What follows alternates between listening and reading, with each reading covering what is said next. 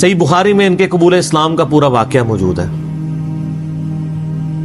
इन तक जब दावत पहुँची कि इस तरह एक पैगंबर आए हैं मक्के की सरजमीन में जिन्होंने दावे नबूत किया तो ये इन्होंने पहले अपने भाई को भेजा कि खैर खबर लेके आओ तो उन्होंने बताया हाँ इस तरह एक शख्स है। फिर ये खुद रखते सफ़र बाँध के नबी सल्लल्लाहु अलैहि वसल्लम की खिदमत में हाजिर हुए मक्का शरीफ में। तो सही बुखारी में आता है कि ये गए यानी मक्का शरीफ में अब डर भी रहे थे। मैं, क्योंकि इनको पता था कि नबी इस्लाम की मुखालफत भी बहुत ज़्यादा है। कि अगर मैं किसी से नबी इस्लाम के बारे में पूछा तो हो सकता है मेरे साथ कोई ऐसी एक्टिविटी परफॉर्म ना कर दे। तो ये हर में मक्का में इन्होंने डेरा डाल लिया और कहते हैं, मैं जितने दिन वहाँ रहा ना तो आब जमजम भी पीता था, जब मेरी खजूरें ख़त्म हो गई। जमजम खाने का काम भी करता था और पीने का भी, जमजम ताकत वाला पानी। तो कहते हैं, सबसे पहले मेरी जिस शख्स से मुलाकात हुई, वो सैदना अली इबन अबी तालिब थे तो कहते हैं, हज़रत अली ने जब मुझे ऑब्ज़र्व किया ना तो मुझे अपने साथ घर ले गए कि परदेसी है खाना शाना खिलाया, रात ठहराया। कहते हैं, ना, उन्होंने मुझसे पूछा कि किस लिए आए हो? ना, मैंने उनको बताया। ये मैं आपको अखलाकियात बता रहा हूँ कि दावत का काम कितना ठंडे करके करना पड़ता है। आप तो कहते हैं, पहले दिन ही किसी को रफल दैन शुरू करवाते हैं। इतना आसान नहीं होता ये। तो दूसरा दिन भी इसी तरह गुजरा, तीसरा दिन भी। तो तीन दिन के बाद अबू जर गफारी ने खुद हज़रत अली पे एतमाद किया और उनको अंदाज़ा हुआ कि ये बड़ा तो उन्होंने कहा, मैं, यानी एक और हज़रत अली ने भी एक्सपोज नहीं किया कि मैं नबी इस्लाम के करीबी लोगों में से हूँ। तो उनका कि मुझे तुम एक अच्छे इंसान लगे हो तो मैं इस काम के लिए आया तो तुम मुझे गाइड करो मोहम्मद इबन अब्दुल्ला के बारे में। मैं उनसे मिलना चाहता हूँ, सल्लल्लाहु अलैहि वसल्लम। तो सईद अली ने कहा कि वाकई वो तो अल्लाह के पैगंबर हैं और इस तरह। तो फिर वो हज़रत अबूजर गफ़ारी को नबी इस्लाम के पास ले गए। नबी इस्लाम के पास थोड़ी देर बैठे, उन्होंने इस्लाम कबूल कर लिया। और सर, इस्लाम क्या कबूल किया? इतना अला दर्जे का ईमान नबी इस्लाम फरमाया, तुम अपने कबीले में वापस चले जाओ। जब मक्के में हमारा गलबा होगा या कोई अल्लाह ताला राह निकालेगा, अभी तो जो भी इस्लाम कबूल करता है, उसकी फेंटी लगती है। तो मैं कोई ना कोई तुम्हें मतलब बता दूँगा, अभी तुम अपना ईमान पोशीदा रखो, अपने इलाके में चले जाओ। उनका यारसुल्ला ऐसे नहीं हो सकते। वो जनाब आगे मके, खान काबे के अंदर आके उन्होंने उन्होंने कहा, मैं गवाही देता हूँ कि अल्लाह एक है और मोहम्मद सल्लल्लाहु अलैहि वसल्लम उसके रसूल है। तो मुशरकिन अरब उन पर टूट पड़े, खूब मारा। हती कि अब्बास बिन अब्दुल मुत्तलिब, जो उस वक्त तक मुसलमान नहीं हुए थे नबी इस्लाम के चचा थे। लेकिन चूँकि बनु हाशिम से थे और बनु हाशिम आपको पता है मतवली थे काबा शरीफ के, उन्होंने अपने आप को अबूजर गिफारी के ऊपर गिरा लिया कि ताकि उनको कोई मारे ना। उन्होंने कहा, तुम्हें पता नहीं है कबीला, यानी गफारी कबीले से ताल्लुक रखता है तो इसके कबीले के लोग आके यहाँ पे लड़ाई करेंगे हमसे? क्योंकि कबायली सिस्टम था ना, उसमें यह नहीं देखा जाता था कि उसका मज़हब क्या है। पहले नंबर पर देखा जाता है ये हमारे कबीले का है। तुमने हमारे कबीले के बंदे को मारे, तुम्हें नहीं छोड़ेंगे। इसी वजह से आप देखें ना, बनु हाशिम इस्लाम कबूल ना करने के बावजूद नबील इस्लाम की पुष्प पे तो खड़े रहे ना। और ये पहले भी होता रहा। कुरान हकीम में आता है ना कि शैब इस्लाम की कौम क्या कहती है? ऐ शैब, अगर तेरा कबीला तेरे साथ ना होता, कब से तेरा काम कर चुके होते? इसलिए अंबिया डोमिनेंट कबाइल में आते हैं, जो शरीफ नफसी वाले होते हैं, जिनमें एक सिस्टम होता है पूरा। तो और फिर जो है ना, वो, अगले दिन फिर अबूजर गफारी ने इस तरह कलमा पढ़ा, फिर उनकी पटाई हुई, फिर हज़रत अब्बास ने उनको बचाया और फिर वहाँ से, यानी वो चले गए। ये पूरी हदीस सही बुखारी में है और बल्कि बुखारी में पूरा एक चैप्टर है अबूजर गफारी के इस्लाम लाने का वाक्य। इमाम बुखारी ने अबूजर गफारी का प्रोटोकॉल ये रखा है कि इस्लाम का पूरा चैप्टर बनाया है, अबू गफारी के इस्लाम लाने का वाक्य। बाकी ये दरवेश सिफ्त आदमी थे और दुनिया को तीन तलाकें दी हुई। और वो इसलिए कि उन्होंने नबी इस्लाम को बड़ा क्लोजली ऑब्ज़र्व किया था। नबी इस्लाम की जितनी अहदीस दुनिया से जहद और दुनिया परस्ती की मजम्मत पे है ना, अक्सर अहदीस के रावी अबूजर गिफारी हैं। चूँकि उन्होंने नबी इस्लाम को बड़ा क्लोजली ऑब्ज़र्व किया हुआ था तो इसलिए वो सयाब कराम पे जब दुनिया के खजाने खोल दिए गए और बाज़ असहाब और बाज़ ताबीन में उन्होंने जब दुनिया की मोहब्बत में गलबा और अयाशी का लेवल देखा तो उनसे वो बर्दाश्त नहीं होता था। उन्होंने तो नबी इस्लाम की सोबत की हुई थी। वो कहते थे, ये देखो यार, हम लोग तो फाके करते थे और हमारा पैगंबर हमें यहाँ तक तालीमात देता था कि अल्लाह मोहम्मद और आल मोहम्मद को बस इतना ही रिस्क देना कि रूह और जिसम का रिश्ता बरकरार रहे। ये हदीस बुखारी और मुस्लिम में है। और बुखारी मुस्लिम में हदीस है, हज़रत उमर को नबी इस्लाम ने डांटते हुए कहा। जब वो चटाई के निशान देखे, उनका यारसोल्ला रो पड़े। कि कैसर और किसरा तो दुनिया के मज़े लूट रहे हैं और आप अल्लाह के नबी है तो आप फरमाया कि तुम इस पर खुश नहीं कि वो दुनिया के मज़े लूटें और तुम आखिरत की सादत लूटो। और लगता है उमर तुम पे दुनिया की हकीकत आज भी नहीं खुली। जिन लोगों के सामने ये सारी चीज़ें थी, जिन लोगों ने नबी इस्लाम का वो पीरियड देखा था, फिर उनको यह भी पता था कि बुखारी मुस्लिम में नबी इस्लाम के जो आखिरी खुतबात में से शहदाय अहद के ऊपर जो नमाज़ जनाजा आपने आठ साल बाद पढ़ी, और वहाँ पे आपने जनाजे, यानी उधर कब्रिस्तान में खुतबा दिया इबरत के लिए। और उसमें कई चीज़ें थी। एक तो ये थी कि ये यहाँ पे वो लोग दफन है जिन्होंने इस्लाम के लिए कुर्बानी दी है और उनका फल तुमने खाना है। वो दुनिया से इसी तरीके से गए हैं। दफन में नहीं दिया गया कई लोगों को। नंबर दो, इसी मैदान में माले गनीमत समेटने की वजह से एक फतह शिकस्त में बदल गई थी, जबकि अल्लाह के नबी भी मौजूद थे। अल्लाह ने इसका भी लिहाज नहीं किया और वो फतह शिकस्त में बदल गई। कि उन्होंने माल गनीमत लपेटने में नबी इस्लाम की हुक्म उदूली कर दी। तो ताकि बाद में ये मामला ना हो तो वहाँ आपका खुतबा बुखारी, मुस्लिम दोनों में आपने फरमाया कि और हज़रत उकबा इबन आमिर कहते हैं, मैंने आखिरी दफ़ा नबी इस्लाम को मेंबर पे उसी दिन देखा था। आपने फरमाया कि मैं अल्लाह की कसम अपने हौजे कोसर को इस वक्त देख रहा हूँ। अल्लाह ने दिखा दिया। और आपने फरमाया कि मुझे ये ख़तरा नहीं है कि तुम मेरे बाद शिर करने लगो, लेकिन मुझे डर है कि तुम दुनिया के माल में फंस जाओगे और फिर तुम एक दूसरे को कत्ल करोगे जिस तरह अगली कौमों ने किया और तुम भी तबाह बर्बाद कर दिए जाओगे जिस तरह अगले। इससे ज़्यादा कैसे आप डर सुनाते? अब ये सारी चीज़ें मौजूद थी। आप मुझे खतरा यह कि दुनिया का माल तुम पे खोल दिया जाएगा। अनकरीब कैसर किस तरह के ख़जाने तुम्हारे पास आ जाएँगे? जो बुखारी मुस्लिम में आता है ना कि नबी इस्लाम ने कहा कि मुझे अल्लाह ने दो ख़जाने अता कर दिए। ठीक है, ज़मीन की ख़जानों की चाबियाँ और जिससे वो बरेलवियों ने कुछ और ही कीदा बना लिया। उसमें मौजूद है कि कैसरो किस तरह के ख़जाने, यानी आपको बताया गया कि रोमन और पर्शियन अम्पायर जो है मुसलमान फतह कर लेंगे, यरमूक और कादसिया के अंदर। और मुसलमानों के पास वो दौलतें आ जाएँगी। फिर आहिस्ता आहिस्ता वो भी उसी, यानी दुनिया की मोहब्बत का शिकार हो जाएँगे। अब ये सारी बातें हज़रत बुज़ुर्ग गिफारी के सामने थी। हती कि सही बुखारी में आता है कि बुज़ुर्ग गिफारी कहते हैं, मुझे दिन याद है कि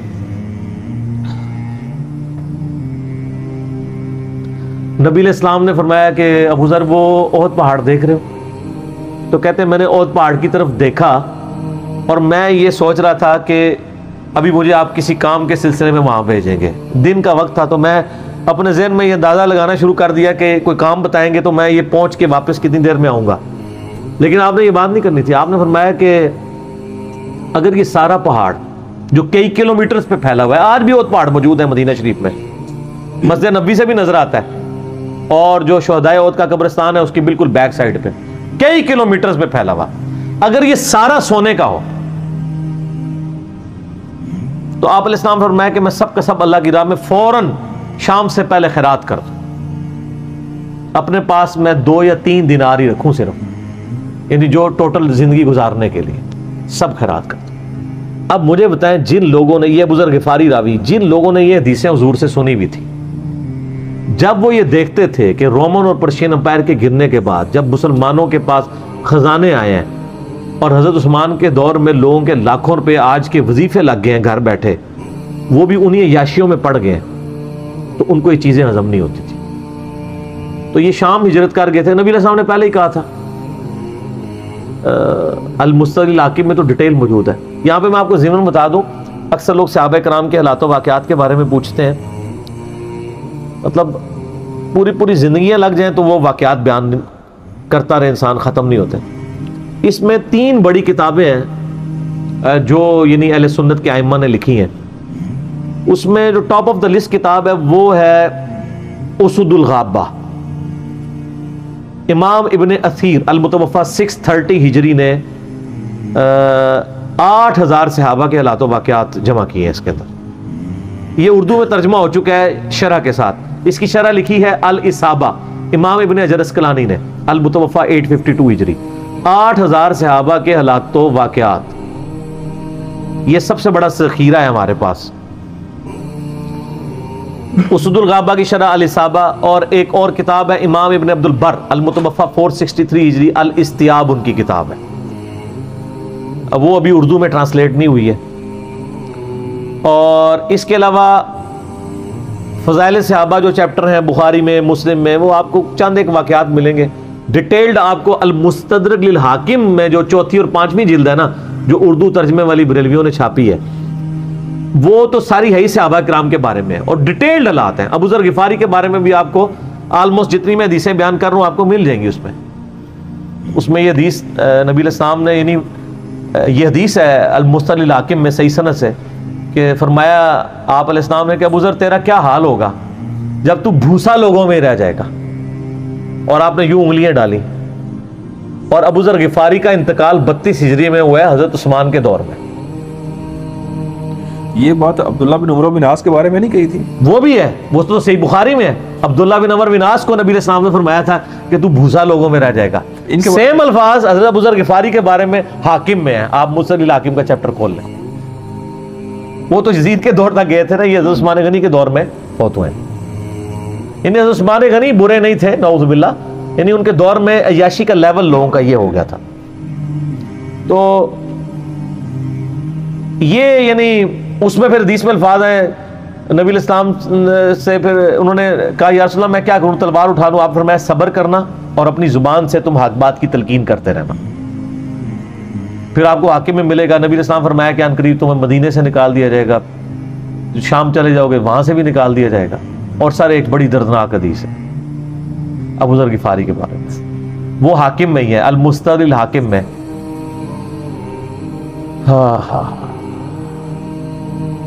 गजबा तबूक आपको पता है, एक ऐसा गजबा था जिसमें जो शिरकत नहीं करेगा, वो मुनाफिक डिक्लेयर होगा। कुरान में फतवा आ गया था। इससे पहले कभी नफीर आम नहीं थी। ये पहला और आखिरी मौका था, क्योंकि रोमन अंपायर से टकराना था। सुपर पावर थी दुनिया की। डेढ़ लाख की फौज लेके कैसरे रोम बॉर्डर पे आ गया था अरब के। तो नबी इस्लाम ने अनाउंसमेंट की कि भाई, अब सबने जाना है, जो नहीं जाएगा, मुनाफिक शुमार होगा। इल्ला ये कि किसी के पास रिसोर्सेज ना हो। या कोई मरीज़ हो, या कोई औरत हो, या कोई माजूर हो। मुनाफिकीन आके बहाने कर रहे थे। कुछ सादा लोग मुसलमान भी उसका हिस्सा बन गए। बुखारी मुस्लिम में तीन साहब की तोबा का वाक्य भी मौजूद है। वो भी मेरी वीडियो रिकॉर्डेड है। तो काब बिन मालिक की रदी अल्लाह तसलाम कुछ लोग जो है वो, यानी अपने उन मामला की वजह से कुछ पीछे भी रह गए। तो अलमुसल इलाके में आता है कि साहब कराम कहते हैं कि हम नबी इस्लाम के साथ सफ़र पर निकले ना जब तो नबी इस्लाम को आके कोई बताता था, कहता था यारसोल्ला वो जो फलाम बंदा था ना, वो भी कोई नहीं आया, पीछे रह गया। तो आप इस्लाम परवाह नहीं करते थे। फिर बताया गया यारसोल्ला वो भी कोई नहीं यानी जेड़े नारे मारते सन ऊँचे ऊँचे जो इतने किसी दसाया जाएगा सर वो तो पक्का जरा यार है, बेली वो भी कोई नहीं थे तो हजूर इस्लाम को लोग ना फीडबैक देते यारसोल्ला वो भी गायब है, वो भी नहीं आया। अब तीस हज़ार के लश्कर में आपने कोई रिकॉर्ड तो नहीं रखा था रजिस्टर था लेकिन किधर तीस हज़ार बंदों में किधर कोई रख सकता है साहब इस तरह? यार सुल्ला वो भी रह गया, वो भी। तो हजूर इस्लाम कहते ठीक आप फरमाते थे, अल्लाह चाहेगा तो आ जाएगा, नहीं आएगा तो नहीं आए। तो किसी ने कहा कि वो अबूजर गिफारी भी पीछे रह गए। आया। और अबूजर को उसके ऊँट ने रोक लिया। ऊँट ही नहीं उठ रहा था ना सर, वो आपको गाड़ी तो नहीं है ना जो स्टार्ट कर लेंगे आप। ऊँट चलने से इनकार कर दे। कोई कर सकता है? और सर, सफ़र कितना है? 700 किलोमीटर। 700 किलोमीटर का रेगिस्तानी सफ़र। आज के दौर में भी करना मुश्किल है। साइकिल पे नहीं आप कर सकते। पैदल तो आप सोच भी नहीं सकते। ऊँट के बगैर कैसे हो सकता है? जिसमें आपको ऊँट इसलिए भी ज़रूरी है कि उसके ऊपर आपने सामान लादना है। पानी नहीं रास्ते में पीना। रेगिस्तान में तो कई कई किलोमीटर तक कुछ भी नहीं होता। भूखे प्यासे मरेंगे। फिर आप काफले से भी जुदा है तो अब उजर गफारी कोशिश करते रहे किस तरीके ऊँट। इसी दौरान काफला निकल गया आगे। तो वो ऊँट उठा ही नहीं है। तो हज़रत अबू गफारी ने अपना सामान अपनी पीठ पे लाद लिया। पैदल चल पड़े। रेगिस्तानी सफ़र में। हाकिम की रिवायत है कि हमने देखा दूर से एक अकेला शख्स आ रहा है, जिसकी पीठ के ऊपर बोरा लदा हुआ है। तो नबी इस्लाम की आप मोहब्बत देखे। आपने फरमाया कि तू अबू जर हो जा। यानी जो आने वाला शख्स है, तू अबू जर हो। यानी हजूर ने ख्वाहिश का इजहार किया। आपको नज़र तो नहीं आ रहा था ये कौन आ रहा है। आपकी मोहब्बत आपको पता था बुज़ुर्ग गफार ही नहीं रह सकता पीछे। तो साहबा कहते हैं, आपने बताया तू अबू जर हो जा। तो साहबा कहते हैं, थोड़ी देर बाद जब वो करीब आए तो हमने पहचान लिया। अबू जर गफारी हैं। तो जब हमने पहचान लिया ना तो हजूर इस्लाम ने उनके पहुँचने से पहले आपने फरमाया, अबू जर अबू जर को देखो, अकेला आ रहा है। अकेले ही दुनिया से जाएगा। और क्यामल दिन भी अकेला उठाया जाएगा। तो दुनिया से क्या कह रहे सही बुहारी में आता है कि हज़रत उस्मान गनी रदी के दौर में चुके। ये इस हदीस का भी कुछ हिस्सा बाकी है, मैं बाद में बयान करूँगा पहले मैं इसको कंक्लूड कर लूँ कि सही बुखारी में आता है कि हज़रत बुज़ुर्ग गिफारी शाम चले गए थे। वहाँ पे चूँकि गवर्नर थे, हज़रत मुआविया रदी अल्लाह तु वो कुरान की वजह सूर्य तोबा की आयात है ना, कि जो लोग सोना और चांदी जोड़ के रखते हैं, ये गर्म करके इनकी पीठों पे, इनके माथे के ऊपर लगाया जाएगा क्यामत वाले दिन। तो वो ये आयत पढ़ा करते थे और हज़रत माविया से उनका झगड़ा रहता था कि तुम लोग जो ये माल जोड़ रहे हो ना, और ये इतने ख़जाने तुम लोगों ने बना लिए हैं, ये नबी इस्लाम की तालीमत के ख़िलाफ़ है। तो जब माविया कहते थे, ये तो अहले किताब के बारे में आयात नाजिल हुई है। तो वो कहते थे, नहीं, ये सब के बारे में है। अब शरी हुक्म यह है कि माल आप जोड़ सकते हैं अगर आप जक़ात दे रहे हैं, लेकिन ये पसंदीदा नहीं है। तरीके नबूत ये नहीं है। नबी इस्लाम नहीं जोड़ सकते थे। पूरी ज़िंदगी जक़ात देने की नौबत नहीं आई है। हालाँकि खुमुस मिलता था।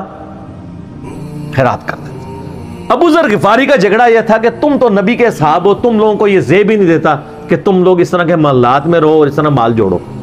तो अब चूँकि सीनियर से आबी थे, इनको हाथ डालना भी आसान नहीं था। फिर नबी इस्लाम ने फरमाया हो कि इससे ज़्यादा सच्चा इंसान ही कोई नहीं। तो माविया ने खत लिखा, हज़रत उस्मान को कि जी, इस बंदे से मेरी जान छुड़ाए ना। इसको आप वापस बुलाएँ तो। हज़रत माविया ने जब खत लिखा तो उस्मान ने इनको कहा, तुम मदीना शरीफ वापस आ जाओ। मदीना शरीफ जब ये वापस आए तो सही बुखारी में आता है कि लोगों का झमघटा लग गया बुज़ुर्ग फारी के गिर्द। लोगों को पता था कि तो बड़ा, यानी जोहत वाला बंदा है। तो अबूजर गिफारी वही हदीसें सुनाया करते थे कि हजूर ने फरमाया, ये पहाड़ सोने के बराबर हो तो मैं खैरात कर दूँगा।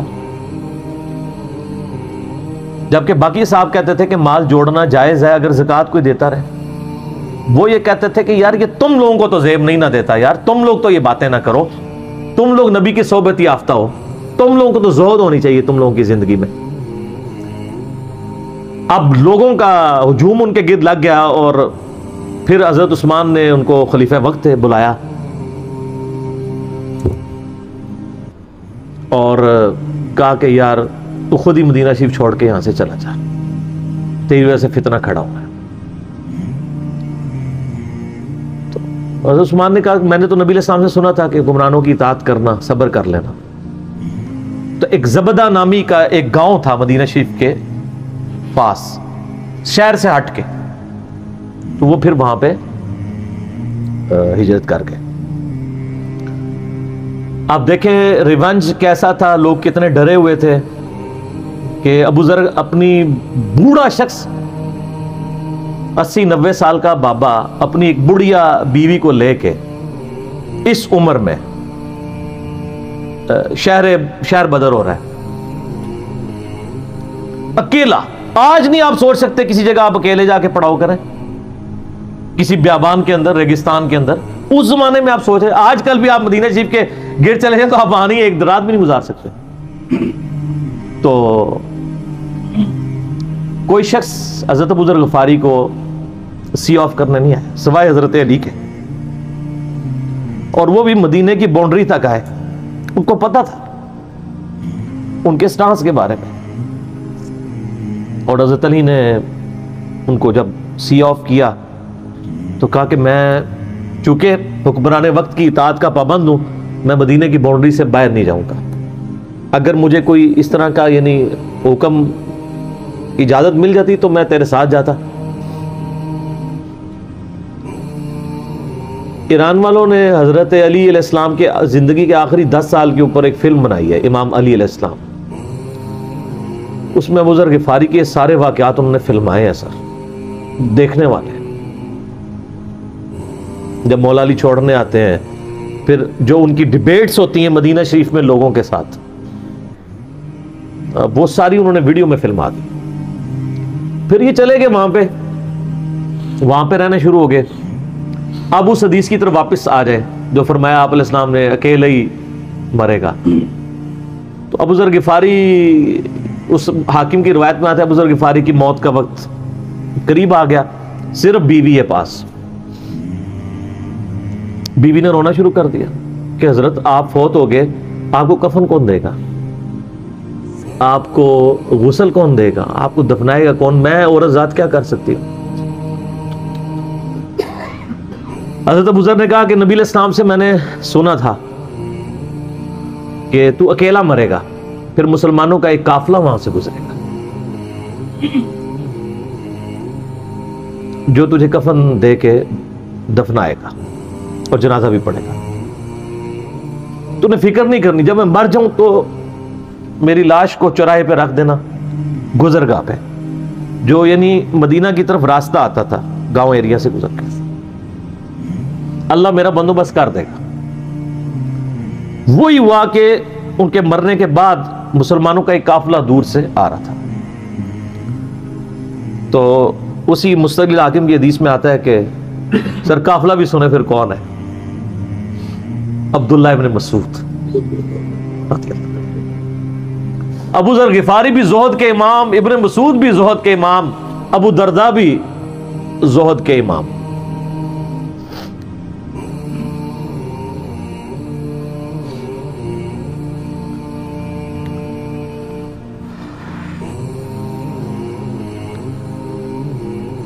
इब्न मसूद रदी अल्लाह जब वहाँ पे रुके, उनको तो नहीं पता था ये कौन है। तो उन्होंने कहा, बीबी, क्या वो उनका, मेरा खामन मर गया है, उनका ये कौन है? तो उन्होंने कहा, अबू जर गिफारी अब्दुल्ला इब्न मसूद की चीख निकल गई। चीख मारी उन्होंने। उनका वाह। अल्लाह के नबी ने फरमाया था कि, अबू जर, अकेला आ रहा है तबूक के मौका पे, दुनिया से भी अकेला जाएगा। और क्या मतलब दिन भी अकेला उठाया जाएगा? यानी अब उसी सरजमीन से ही उसने उठना है ना, हर बंदे ने अपनी कब्र से उठना है। यानी वो मुसलमानों के कब्रस्तान में भी दफन नहीं, एक ये जो मज़ार मज़ार की रट लगाए फिरते हैं, मैं इनसे पूछता हूँ, तुम्हारे बाबों की क्या औकात है? अबू जर गिफारी का मज़ार दिखाओ किधर है। जो इस रुए अर्ज़ पे नीली छतरी के नीचे सच्चा तरीन इंसान, जिसको अल्लाह के नबी कह रहे हैं, उसका कोई मज़ार नहीं है। गरीबुल मतनी में मरा है, उसकी कब्र भी ऐसी जगह है जहाँ मुसलमानों के पास कब्रें भी कोई नहीं है। एक रेगिस्तान में अकेली कब्र है, उस कब्र का भी किसी को नहीं पता। उस पर कोई मज़ार भी नहीं है। और क्यामल दिन भी अकेला उठाया जाएगा, यानी क्यामत तक वहाँ पे कोई कब्रस्तान भी नहीं बनेगा। नबी इस्लाम की यह भी खबर है। तो क्या वो नाकाम हो गया? अगर मज़ारात ही दलील है कामयाबी की। तो अब्दुल्ला इब्न मसूद रदी अल्लाह ने उनको गुसल दिया, कफन दिया और दफना दिया। ये पूरी डिटेल्स आपको अलमुस्तल इलाके में मिल जाएगी। तो अबू जर गिफारी उन चंद शख्सियात में से हैं जिनमें पूरी उम्मत का इतफाक है, उनकी नेकोकारी के ऊपर। शिया भी इनको बहुत रिस्पेक्ट देते हैं, अहले सुन्नत भी देते हैं, सूफिया के हाँ भी इनको इमाम माना जाता है। जहद की वजह से। आप तसवुफ़ की जितनी किताबें पढ़ें, चाहे इमाम गजाली की हों, रसाला को शेरिया पढ़े, और लोगों को भी पढ़ना शुरू करें तो अबू ज़र गिफारी आपको जहद के इमाम के तौर पर मिलेंगे कि उनकी ज़िंदगी में यानी ये जहद था कि उन्होंने किस तरह की ज़िंदगी गुजारी है। सर, लोग मजमों में मरते हैं, उनको याद कोई नहीं करता। और बुज़ुर्ग फारी को आज भी दुनिया याद कर रही हम भी याद कर रहे हैं। रदी अल्लाह तसलाम अल्लाह ताला क़यामत वाले दिन हमें ऐसे नेकोकार लोगों का साथ नसीब फरमाए। आमीन। सुबह